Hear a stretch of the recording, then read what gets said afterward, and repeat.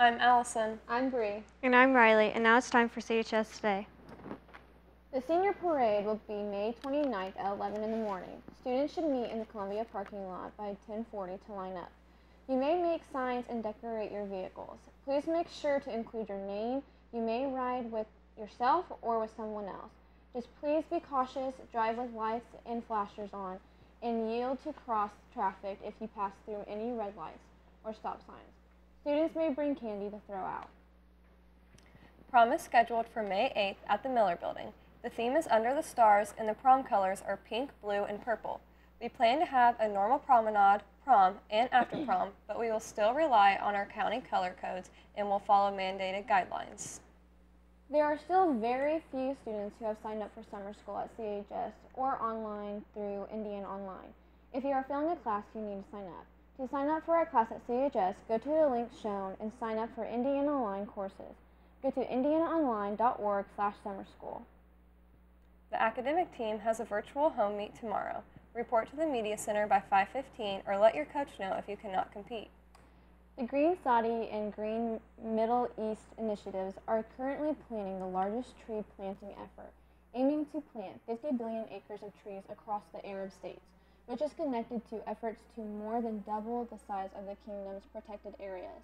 This, along with efforts to create a drive for green energy, would reduce the amount of global carbon emissions by 8% and domestic emissions by 60%. A Branson-backed company called Carbon Cure is combining concrete mixture with carbon dioxide that is produced from factories, which both reduces carbon emissions and strengthens the material of concrete. While reducing production costs, private companies such as Amazon and Alibaba Group are investing into this project to help with funding and research. Carbon Cure is set to reduce the amount of carbon dioxide production by 50 megatons every year. On this day in history, the Battle of Fort Sumter began signaling what many believe to be the beginning of the Civil War. This battle began when Confederate forces opened fire on Union held Fort Sumter. Two days later, when the fort was surrendered, President Lincoln called for 75,000 volunteer soldiers to stop the South's insurrection. Lunch for tomorrow is biscuit and turkey sausage gravy with a sausage patty and scrambled eggs, with an option of a spicy chicken sandwich and a PB&J. It's kind of chilly. Here's Sarah with your weather. Thanks, guys. So as we head into this afternoon, it's going to be around 55 degrees and it's going to be cloudy. But as we head into this evening, we're going to see those temperatures increase. We're going to see more of that sun, and it's going to be 64 degrees. And also into tomorrow, it's going to be around the same temperature. Like I said, today's going to be cloudy and tomorrow is going to be partly cloudy with the same temperature. But as we head into the rest of the week, into Wednesday, the temperature is going to start decreasing, and into Thursday, it's going to be around 55 degrees. But luckily, as we head into Friday, it's going to hit 61 degrees, and it's still going to be partly cloudy throughout all the week. That's all for the weather. Now back to the desk. Now over to Riley with the sports. Thanks, guys. Varsity softball played a doubleheader against Union County Friday night. In the first game, the Spartans stayed in till the end. Union County was able to pull away in the final inning and won 4 to 2. Sydney Dungan got on got the team on the board with a solo home run. Pitcher Shelby Wolski last four innings allowing six hits and two runs, striking out four. In the game two, Paige Dunaway, Wolski, and Bailey Spurlock each collected a hit. Pitcher Kindred Conley lasted four innings, allowing seven hits, six runs, and striking out the final score was 3 to 6. The girls are next in action tonight at home at 5:30. Varsity baseball defeated Yorktown Friday night 3 to 2 after taking the lead in the first inning. Defense was solid for the Spartans and runs were at premium. Caleb Sparks, Quentin Leisure, Gavin Pearson, and Cody Friend all took the mound for Connersville. The pitchers collectively struck out seven, and Pearson took the victory on the mound, allowing no runs and two hits.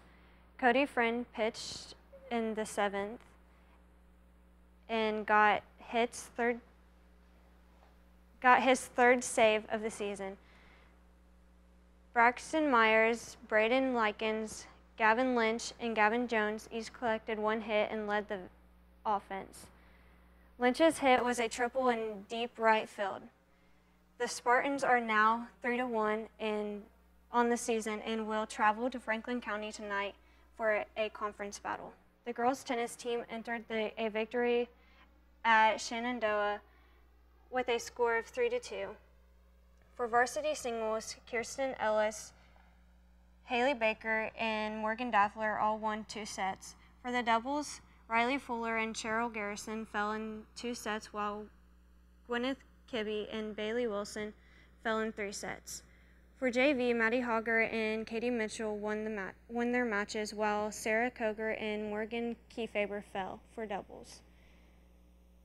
For doubles, Grace Kelly and Julia Poe won their match along with Aubrey Hunt and Aaliyah Williams. Great job, ladies.